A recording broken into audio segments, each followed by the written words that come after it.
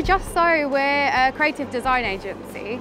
We do a lot of projects for brands as brand guardianship in terms of their brand image and identity. So how do we transform who they are as a brand into what they can be?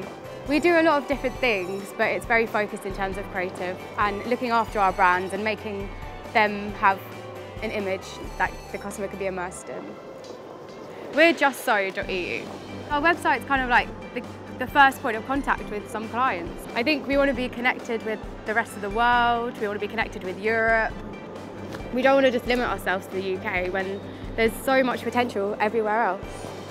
So I think having that .eu just adds that edge to our company. House of Fraser came to us with their Christmas TV commercial and basically they wanted a window display which kind of took extracts from their commercial and they wanted it realised and interpreted into their windows.